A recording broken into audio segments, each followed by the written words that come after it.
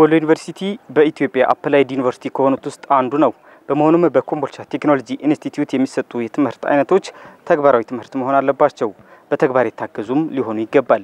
ይህን ከግምት በማስገባትም ዩኒቨርሲቲው በርካታ መቶ ሚሊዮን ብሮችን ወጪ በማድረግ ደረጃውን የጠበቀ የሲቪል ምህንድስና ላቦራቶሪ ወይም ቤተ ሙከራ አቋቁሟል። ሰላም ጤና ይስጥልን የተከበራችሁ ተመልካቾቻችን እንደምን ሰነበታችሁ። ማህደረ ወሎ ፕሮግራማችን ተጀምሯል። ማህደር ወሎ ፕሮግራም ወሎ ዩኒቨርሲቲ ከአማራ ሚዲያ ኮርፖሬሽን ጋር በመተባበር እያዘጋጀ የሚያቀርበው ሳምንታዊ ፕሮግራም ነው። የፕሮግራሙ አዘጋጅና አቅራቢ ከድራሊ ነኝ። እስከ ፕሮግራሙ ፍጻሜ አብራችሁን ቆዩ።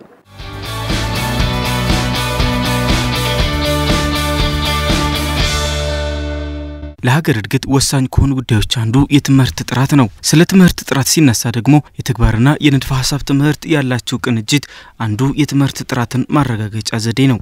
የሰለጠኑ ዜጎችን በማፍራት ረገድ ከፍተኛ ኃላፊነት የተጣለባቸው ዩኒቨርሲቲዎች የተግባር ትምህርትን ከንድፈ ሀሳብ ጋር አቀናጅተው መስጠት ይጠበቅባቸዋል። በሀገራችን ከሚገኙ የ applied ዩኒቨርሲቲዎች አንዱ የሆነው የወሎ ዩኒቨርሲቲ ኮምቦልቻ ቴክኖሎጂ ኢንስቲትዩት የተግባር ትምህርት የመስጠት ኃላፊነቱን ለመወጣት ከፍተኛ ገንዘብ አውጥቶ ዘመናዊ የምህንድስና ላቦራቶሪ አደራጅቷል። የዩኒቨርሲቲው የምህንድስና ተማሪዎች ከዚህ በፊት ወደ ተለያዩ ዩኒቨርሲቲዎች እየሄዱ ነበር የተግባር ትምህርትን የሚከታተሉት። የኮምቦልቻ ቴክኖሎጂ ኢንስቲትዩት የሲቪል ምህንድስና ትምህርት ክፍል ኃላፊ በለጠ ሙልጌታ ኢንስቲትዩቱ ሙሉ በሙሉ የተግባር ትምህርት የሚሰጥበት በመሆኑ የስራ ኃላፊዎቹ በሰጡት ትኩረት ይህን መሰል ዘመናዊ ቤተ ሙከራ ማቋቋም ተችሏል ብለዋል። ኢንስቲትዩቱ ሙሉ ለሙሉ የተግባር ትምህርት የሚካሄድበት ኢንስቲትዩት ነው። በመሆኑም specially ደግሞ civil engineering ላይ ስንመጣ እያንዳንዱ በእጅ ነክተህ እያንዳንዱ test የምትሰራው ነገር ስለሆነ የተግባር ትምህርት ማለት ዋና backbone ኑ ነው። የተግባር ትምህርቱ ከሌለ theoretical አስተምረህ ልጆቹን ከዚህ እንዲመረቁ ብታደርጋቸው almost ከግማሽ በላይ ያለውን ነገር lose አድርገው እንደሚወጡ ነው እንትን የምንለው። እስከ ዛሬም የነበረን እንትን ሁለተኛ ዓመት ጀምሮ ወደ እኛ department ይቀላቀላሉ። ከዛ በኋላ almost አምስተኛ ዓመት ላይ ሲደርሱ ነበር ይሄ ላቦራቶሪ የምናሰራው።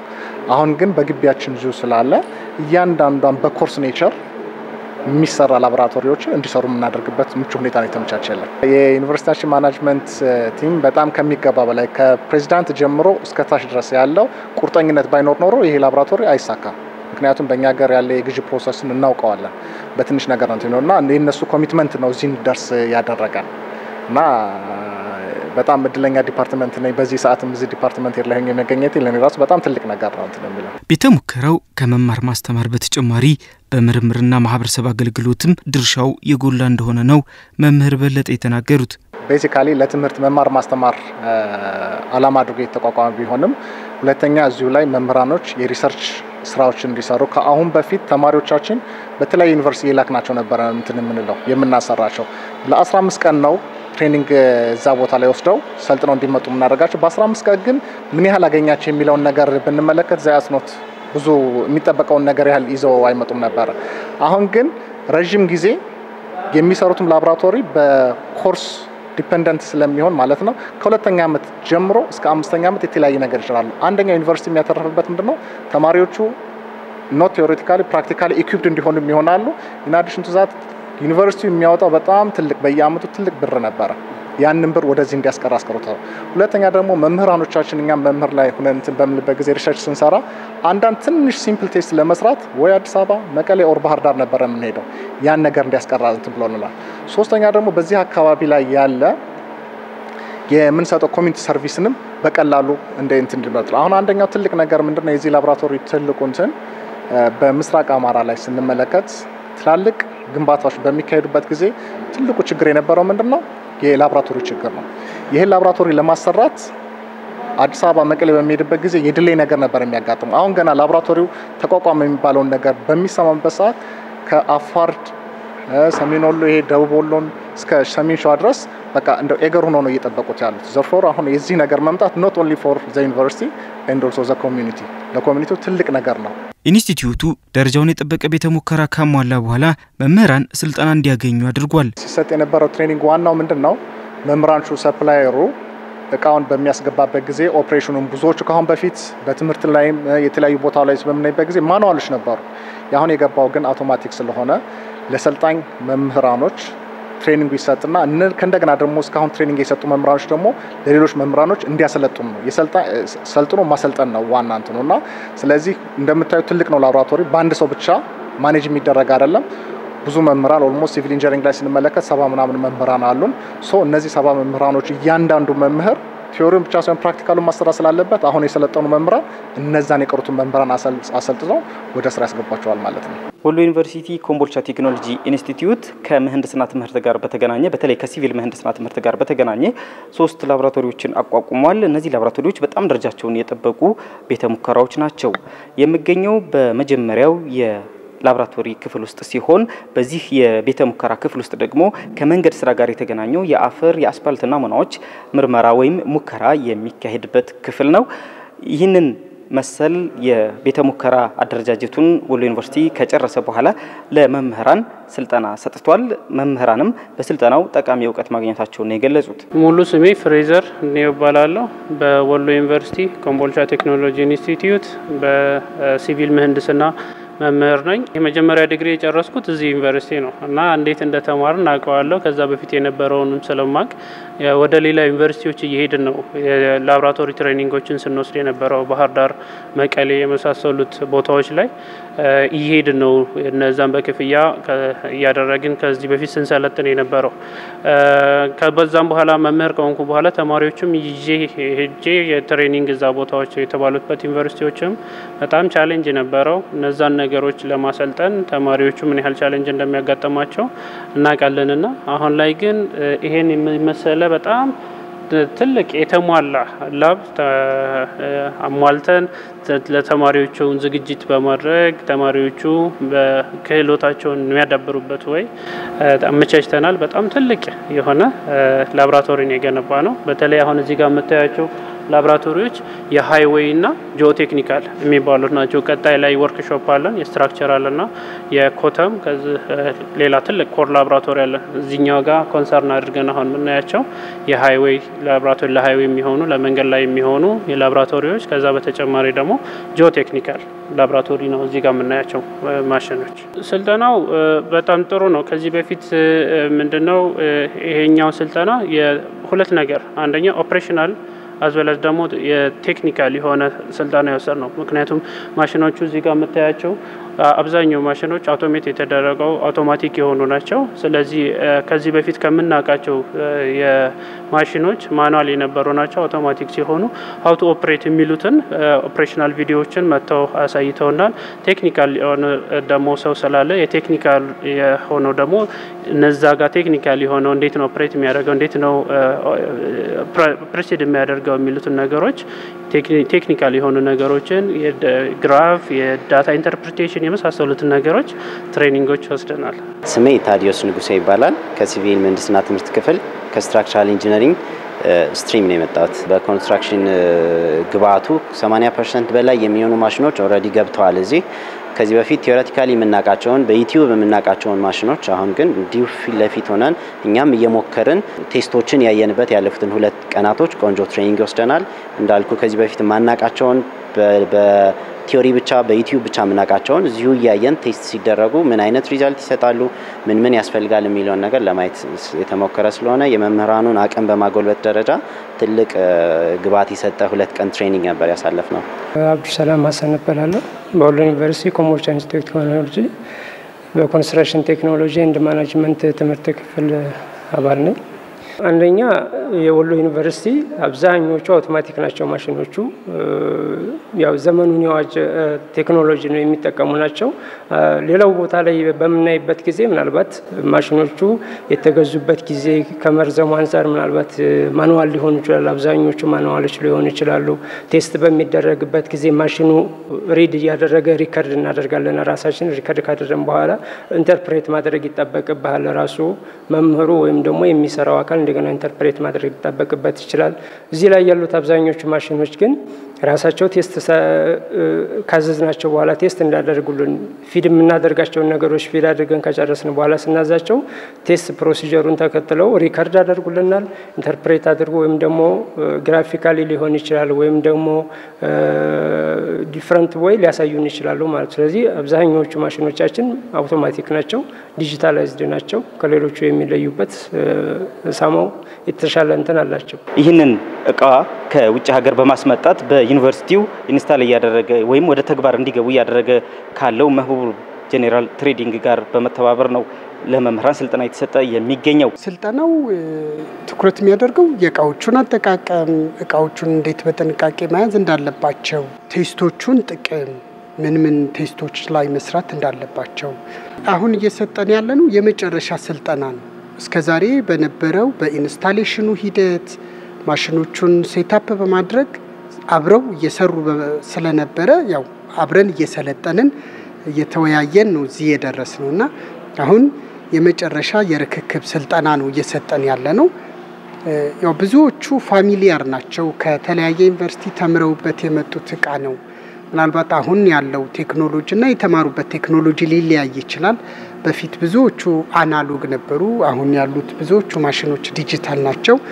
ምናልባት የዛችን gap መሙላት ካልሆነ በስተቀር ብዙዎቹ familiar ናቸው፣ ያውቁታል በደንብ። ስለዚህ ስልጠናው successfully እየተካሄደ ነው ያለው። እስካሁን ምንም የተቸገርነው ነገር የለም። እኛም ከነሱ እየተማርን እነሱም ከኛ እየተማሩ ቆንጆ ሂደት ላይ ነው ያለው።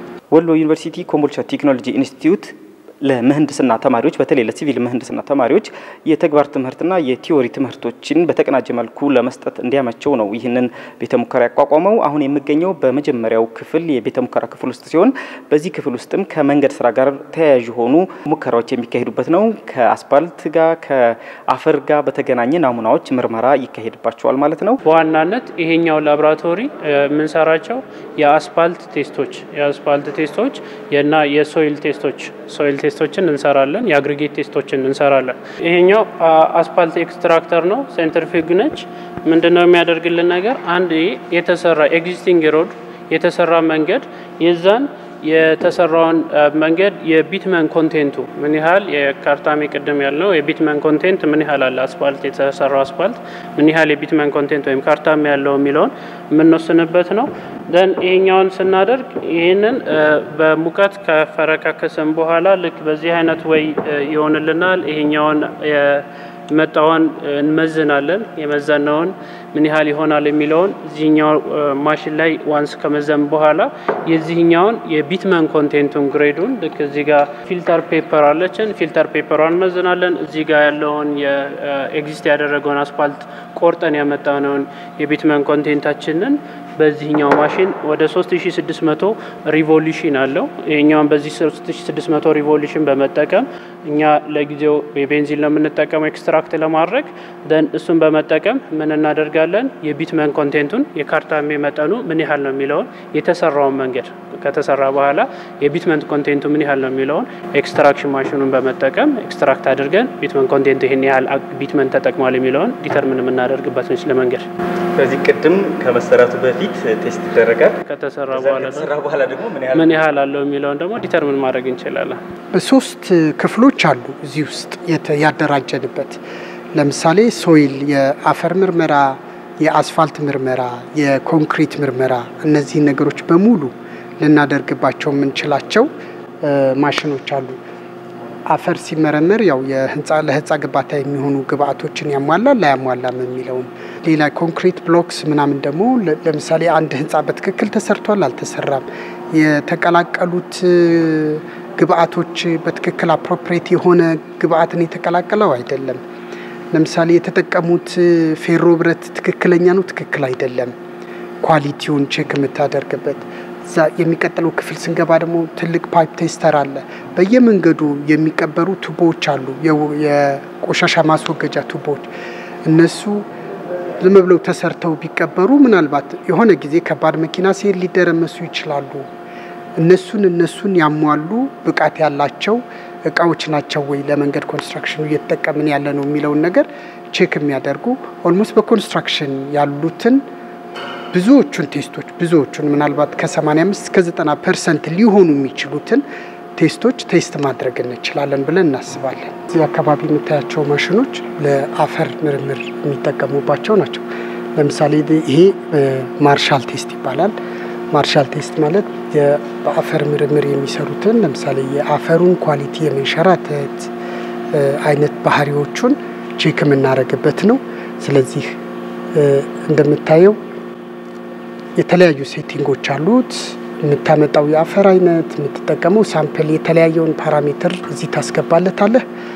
then የተለያዩ load sensor ኦች አሉት። በእነዚህ load sensor ኦች አማካኝነት የአፈሩን ባህሪ እዚህ በግራፍ ያሳይሃል። ከዛ በኋላ እነዚህን ያገኛቸውን data ዎች ወደ interpretation እንወስዳቸዋለን ማለት ነው።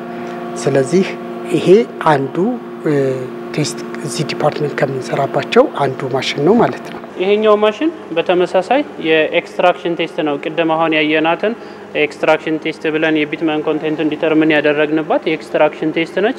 ይሄኛው ከዛችኛቱ ቅድም ካየናት የሚለየው ነገር የሚጠቀመውን ኬሚካል recycle እያደረገ መልሶ እዛው ላይ በ recycle በማድረግ cooling unit ኦች አሉት። cool ያደርጋል። then refine እያደረገ እዚህ ጋር sieve ኦች አሉ። የ bitumen content ኡ ምን ያህል ነው የሚል ነው። በተለይ ይሄኛውን ለ research ላይ ለ commercial ሳይሆን በተለይ research ላይ መምህራኖች የማስተርስም ሊሆን ይችላል ከዛም በላይ በላይ ሊሆን ይችላል የሚፈልጉት የ community engagement ይኖራል። እነዛን የ research ስራዎች በጣም የሚሰሩበት በጣም ትልቅ ማሽናችን ነው። ይሄ ተመሳሳይ አለን extraction centrifuge። ይሄኛው ደግሞ አውቶማቲክ የሚባለው በጣም ትልቅ የእጅ የሆነ ራሱ recycle የሚያደርግ cooling unit ያለው ትልቅ የሆነ ማሽናችን ነች። እንግዲህ ተማሪ ሁነህም ሌሎች ዩኒቨርሲቲዎች ላይ ሂደህ እንዲህ አይነት ላቦራቶሪዎች ላይ ሙከራ አድርገህ ነው የተማርከው። ቅድም እንደነገርከኝ አሁን ደግሞ መምህርም ሆነ ሌሎች ዩኒቨርሲቲዎች ላይ ነበረ ስትሄድ የነበረው።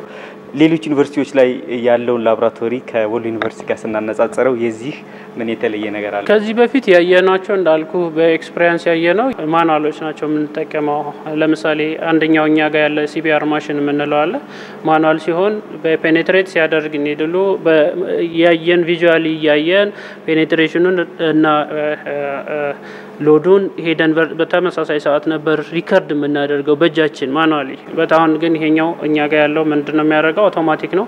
ራሱ graph ሰርቶ ራሱ result ሰጥቶ በዛ automated የሆነ way ይሰጠናል። ስለዚህ እዚህ ጋር ያሉት አብዛኛው በሚባል ደረጃ ወደ ሰባ ፐርሰንት ሰማኒያ ፐርሰንት አውቶማቲክ የሆኑ ማሽኖች አሉን ማለት ነው። ከዚህ ከድሮ ወይም ከዚህ በፊት ከምናውቀው ሌላ ቦታዎች ሄደን ከሰራንባቸው የሚለያቸው ማለት ነው።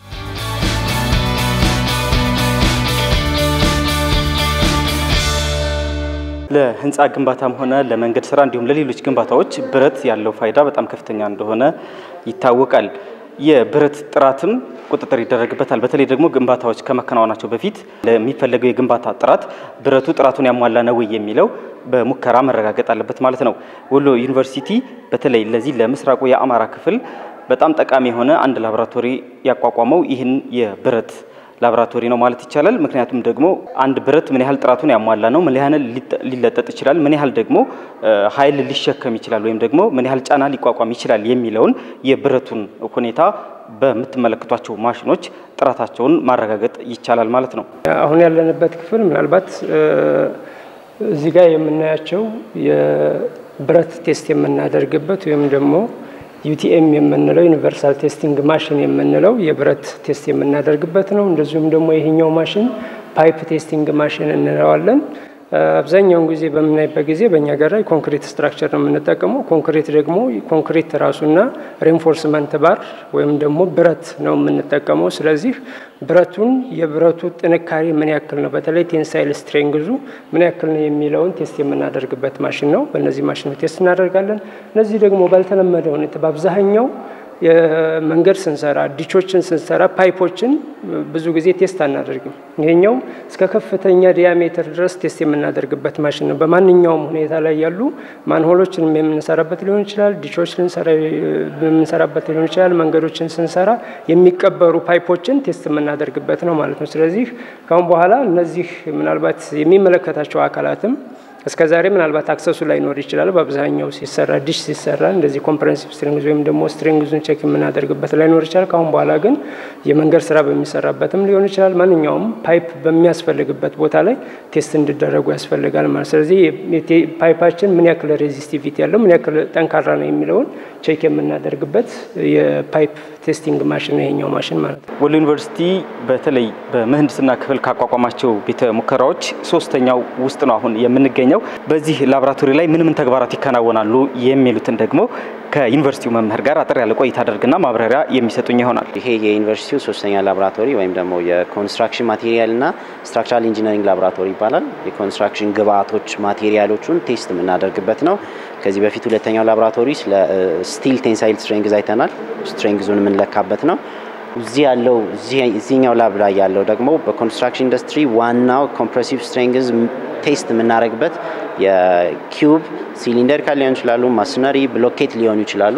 እዛ ጋር የምታየው ማሽን እነሱን test ኦች የሚሰራልን test ነው። test ኡን ለመስራት የሚያስፈልግ mixer በዚህኛው በኩል mix አድርገን እንደምንፈልገው ኮንክሪቱንም cement ኡንም mix የምናደርግባቸው የራሱ ማሽኖችም ተቀምጠዋል እዚሁ ላቦራቶሪ። ከዛ ውጪ የ beam ኡን strength የምንሰራበት slab ን መስራት more ለምርምሩም ቢሆን slab ን የምንሰራበት flexural strength test የምናደርግበት እዚህ ተቀምጠዋል።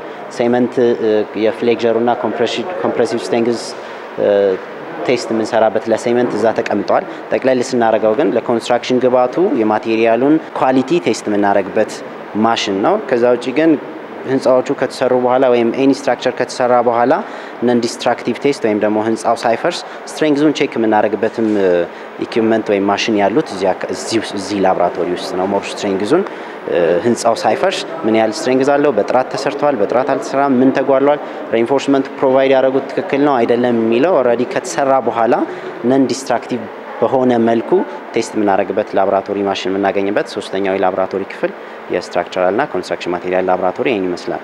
የወሎ ዩኒቨርሲቲ የምህንድስና ተማሪዎች የ theory ትምህርቶችን አጠናቀው የተግባር ትምህርት ላይ ሲገቡ ወደ ሌሎች ዩኒቨርሲቲዎች ነበር የሚሄዱት። ምክንያቱም በዩኒቨርሲቲው ላቦራቶሪ ወይም ቤተ ሙከራ አልነበረም። አሁን ግን ዩኒቨርሲቲው ከፍተኛ ገንዘብ አውጥቶ በመቶ ሚሊዮኖች የሚቆጠር ገንዘብ አውጥቶ እጅግ ዘመናዊ የሆነ አውቶማቲክ የሆነ ሙሉ በሙሉ ማለት ይቻላል አውቶማቲክ የሆነ ላቦራቶሪ አቋቁሟል። የዚህ ላቦራቶሪ መቋቋም ለመማር ማስተማር ስራው እጅግ ከፍተኛ እገዛ እንዳለው ነው ሰልጣኝ መምህራን የገለጹት። ከዚህ ባለፈም ጥናትና ምርምር ለሚሰሩም እንዲሁም ደግሞ ለማህበረሰብ አገልግሎት በተለያየ መልኩ ግንባታ ለሚያከናውኑ ግንባታ ላቀዱ የማህበረሰብ ክፍሎችም ድርጅቶችም አገልግሎቱ ከፍ ያለ እንደሚሆን ነው ሰልጣኝ መምህራን የገለጹት። engineering በተግባር ሲደገፍ ነው ሁሉም ነገር የሚሆነው። ለዛም አንድ ሴሚስተር ወስደን internship የሚባል አንድ ሴሚስተር ሙሉ የምንወስደው ፕሮግራም አለን። አሁን ይሄ ላቦራቶሪ መምጣቱ እሱን ሁሉ ሊቀርፍ ይችላል። የምናያቸውን theoretical ነገሮች ከ practical ጋር more እያገናኘን መሄድ የምንችልበትን አጋጣሚ ይፈጥርልናል። ከዚህ በፊት የነበሩ ኮርሶችን ስንጨርስ ነበር ወደ ሌላ ዩኒቨርሲቲ ሄደን የምንሰራው። አሁን ግን አንዱን portion እንደጨረስን theoretical ኡን እንደጨረስን እዛው አብረን ጎን ለጎን practical ኡን የምናይበት እድል ያመቻቸልን ነው ይሄ ላቦራቶሪ ማለት ነው። ከዚህ ጎን ለጎን በጣም ብዙ ስፋት ያላቸው የምርምር ስራዎችም ከ construction sector ኡ ጋር link ለመፍጠርም ይሄ ላቦራቶሪ መምጣቱ ለዩኒቨርሲቲውም ለ community ውም በጣም አስፈላጊና ጠቃሚ ነው። ለመማር ማስተማሩ ተማሪዎች class ላይ የተማሩትን theoretical ነገር ቀጥታ እዚህ ጋር መጥተው ላቦራቶሪ ላይ implement ነው የሚያደርጉት። ወደዛው ሄደው ተግባር ላይ ነው የሚያውሉት። ከዚህ በፊት የነበረው እንደነገርኩ ዛሬ ላይ የተማሩትን በአንድ ሁለተኛ ሴሚስተር እንዳለቀ ነው ሄደው ያንን የተግባር ትምህርት የሚማሩ የነበሩት ወደ ሌላ ዩኒቨርሲቲዎች ስንሄድ፣ አሁን ላይ ግን ቀጥታ የተማሩትን እዚህ ጋር ላቦራቶሪ ላይ መጥተው በዛ በተባለበት period ላይ መማር ያስችላቸዋል። research ደግሞ አሁንም ምንድነው የምናደርገው እዚህ community service የምንሰጣቸው research የምንሰራቸው ስራዎች አሉ። ቀጥታ የላቦራቶሪ የ material test የሚያስፈልጋቸው ካሉ ቀጥታ ሌላ ቦታ መሄድ ሌላ core ላቦራቶሪ እየፈለጉ መሄድ ሳያስችለን ቀጥታ እዚሁ ቦታችን ላይ ሄደን material አምጥተን test ማድረግ ያስችለናል። community ን serve ማድረግ እንችላለን። ከዛ በተጨማሪ ደግሞ አካባቢያችን ላይ ያሉ ብዙ መንገድ ፕሮጀክቶች፣ ብዙ የ building የመሳሰሉት ነገሮች ላቦራቶሪ ወደ አዲስ አበባ ወደ ባህር ዳር የሚያስኬዱ እዚህ አካባቢያችን አጎራባች ላይ በዚህን ያክል ደረጃ የተደራጀ core ላቦራቶሪ ስለሌለ ወደ ብዙ ቦታዎች travel አድርገው የሚሄዱትን በትልቁ ያስቀርላቸዋል። ሁሉንም የላቦራቶሪ test ኦች አንድ ቦታ ላይ አግኝተው community serve ማድረግ ይችላል። እዚህ ዩኒቨርሲቲ ቅድም እንዳልኩ ከአስራ ሁለት ዓመት በላይ ቆይቻለሁኝ። ከአሁን በፊት የዩኒቨርሲቲ በተለይ የሲቪል ምህንድስና ትምህርት ክፍል ላቦራቶሪ የለውም ነበር። ስለዚህ የነበረው ሁኔታ ምንድን ነው? በተለያዩ ዩኒቨርሲቲዎች ጋር ተማሪዎቻችንን ልከን ማስተማር ነበር የነበረው። ብዙ ዩኒቨርሲቲዎች ጋር እንትን ብለናል። ባህር ዳር ዩኒቨርሲቲ፣ አዲስ አበባ ዩኒቨርሲቲ፣ መቀሌ ዩኒቨርሲቲ፣ even ወልዲያ ዩኒቨርሲቲ ድረስ እየወሰድን ተማሪዎቻችን ያው practical የሚሆኑ እንትኖችን ኮርሶች ይሰጣሉ። አብዛኛው የሲቪል የምህንድስና ኮርሶች theoretical and practical ነው። theoretical ኡን ይማራሉ። practical ኡን actually parallel ነበር መውሰድ የነበረባቸው። ያው ምንም ማድረግ ስላልተቻለ ወደ ሌሎች ዩኒቨርሲቲዎች በተለያዩ አጋጣሚዎች ክረምትን፣ የተለያዩ የእረፍት ጊዜዎችን በመጠቀም እየወሰድ ነበር ስናስተምር የነበረው። የኮንስትራክሽን material ኦችን test የምናደርግበት center ሆኖ ሊያገለግል ይችላል ማለት ነው። ስለዚህ ኮንትራክተሮች፣ ባለቤቶች፣ ባለሀብቶች እንዲሁም የተለያዩ NGO ዎች whatever ማንኛውም የግንባታ material ኦችን test ማድረግ ወይም ደግሞ ማስመርመር የሚፈልግ አካል እዚህ ወሎ ዩኒቨርሲቲ ኮምቦልቻ ኢንስቲትዩት ቴክኖሎጂ civil core ላቦራቶሪ ላይ መጥቶ አገልግሎት ማግኘት ይችላል ማለት ነው። ከኛ ከመምህራን የሚጠበቀው ነገር ምንድን ነው?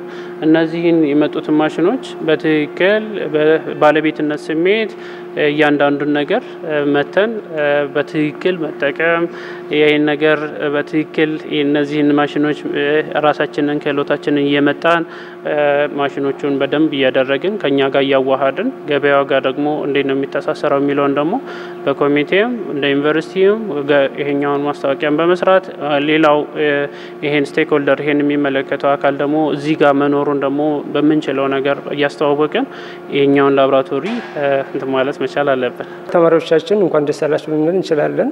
አብዛኞቹ ካሁን በፊት የነበረው batch ይህንን chance ወይም ደግሞ ይህንን አጋጣሚ አላገኘም ነበር። ካሁን በኋላ ያሉት ግን በተሻለ መልኩ ይህን lab የመጠቀም እንትን ይኖራቸዋል። እነሱም ብቻ ሳይሆኑ አጠቃላይ መምህራንም እንኳን ደስ አላችሁ ሊባሉ ይገባል። እዚህ ቦታ ላይ መስራት የሚፈልግ አካል ሊሰራበት ይችላል። ምርምር መስራት የሚፈልግ አካል ራሱን update ማድረግ የሚችል አካል ሊሰራበት ይችላል።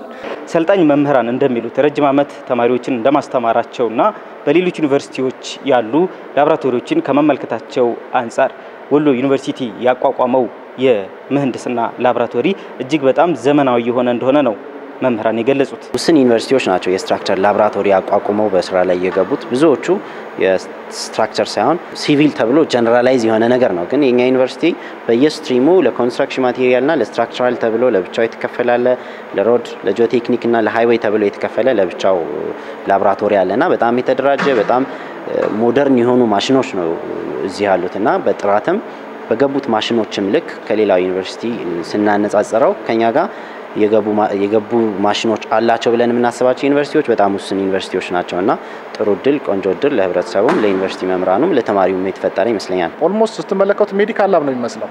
እኔ ብዙ ዩኒቨርሲቲዎች ተዘዋውሬ አይቻለሁ። በዚህ level እንደዚህ organized ሆኖ የተዘጋጀ lab I don't think እንዲህ ካልተሳሳትኩኝ በደንብ ያየሁ አይመስለኝም እና በጣም ትልቅ opportunity ነው ለኛ። ወሎ ዩኒቨርሲቲ ያቋቋመው ጥራቱን የጠበቀ ቤተ ሙከራ ለማህበረሰብ አገልግሎቱ ያለው ፋይዳ ከፍተኛ ነው። በተለይ በአካባቢው ለሚካሄዱ የመንገድና ሌሎች የግንባታ ስራዎች እጅግ ከፍተኛ አበርክቶ እንዳለው ነው የኮምቦልቻ ቴክኖሎጂ ኢንስቲትዩት የሲቪል ምህንድስና ትምህርት ክፍል ኃላፊ በለጠ ሙልጌታ የሚናገሩት። እስካሁን የመምህራኖቻችንን የማሰልጠንና ማን ይረከበዋል የሚለውን ነገር ማዘጋጀት ነበርና ካሁን በኋላ promotion ብዙ አያስፈልገው። promotion yes ግዴታ ነው፣ ግን ቢሆንም አካባቢው ላይ ከባድ እጥረት ስላለ የዚህ የላቦራቶሪ እንትን አሁን አንዳንድ mega ፕሮጀክቶች አሉ እዚህ አካባቢ እንትን ያሉ ገና ተቋቋመ በሚል ብቻ እየደወሉ አሁን test ለማሰራት ፍላጎት እንትን አላቸው። በቅርቡ ከተለያዩ ዩኒቨርሲቲዎች ተማሪዎቻቸውን እኛ እንልክ የነበረው ሌሎች ዩኒቨርሲቲዎች ወደ እኛ መጥተው ለመስራት ጥያቄ እያቀረቡልን ነው። so that አሁን እዚህ አካባቢ ላይ ዋናው ትልቁ ነገር እንኳን እዚህ ደረሰ ነው ዘንድ የ promotion ስራችንን I think already ተጀምሯል። ከአሁን በኋላም ደግሞ በተለያየ መንገድ ለማሳወቅ እንችላለን። ግን አሁን ወሎ ዩኒቨርሲቲ even በተለያዩ አሁን በከተማ መስተዳድሮች እንኳን ስንመለከት ለደሴ ህንጻ ሹም፣ ኮምቦልቻ ህንጻ ሹም even የደሴ ከንቲባ መጥተው እንዲጎበኙ አድርገናቸዋል። basic እንትኖች ያሉባቸውን ማለት ነው። so that እነዛ አሁን ምንድነው የዚህን ላቦራቶሪ ስራ መጀመር በመጠባበቅ ላይ ያሉ እንትኖች ናቸው፣ ድርጅቶች ናቸው። ወሎ ዩኒቨርሲቲ ያቋቋመው ቤተ ሙከራ ከኢትዮጵያ ጥራትና ደረጃዎች ማረጋገጫ ከተሰጠው በኋላ የማህበረሰብ አገልግሎቱን እንደሚጀምር የሲቪል ምህንድስና ትምህርት ክፍል ኃላፊው መምህር በለጠ ገልጸዋል። አሁን ሁሉ ነገር ጨርሷል። the only thing standardization ብቻ ነው የሆነ ጥራትና ደረጃዎች certify የሚያደርገው ሰርቲፊኬት አለ። ያን certify ከሆን አሁን ከአሁን ሰዓት ጀምሮ አገልግሎት መስጠት ይችላል። ምንም እንትን የሚይዘው ነገር የለም።